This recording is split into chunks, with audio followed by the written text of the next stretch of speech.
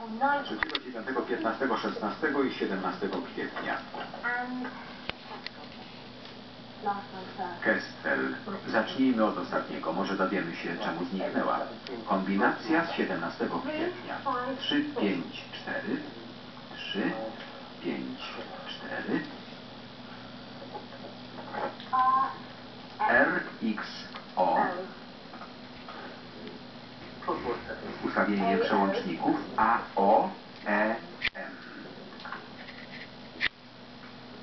Dawid, gdzie zmienia działka do akwarium? Prąd płynie z klawiatury do lampek. Zapalają się w zależności od ustawienia wierników i wtyczek. Naciśnięcie klawisza zmienia drogę przepływu prądu. Jeśli naciśniesz ten sam klawisz 10 razy, za każdym razem zapali się inna lampka. To genialne.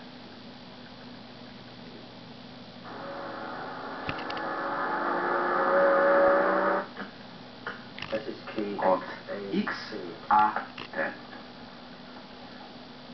Ready? Gotowy? Tak. Y. Y, K, E, A, W.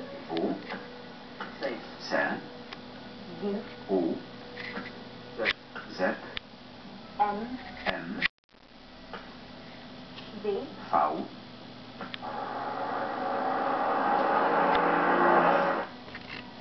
Q.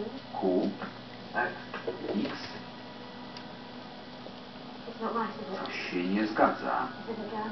To nie niemiecki. Operatorzy się mylą.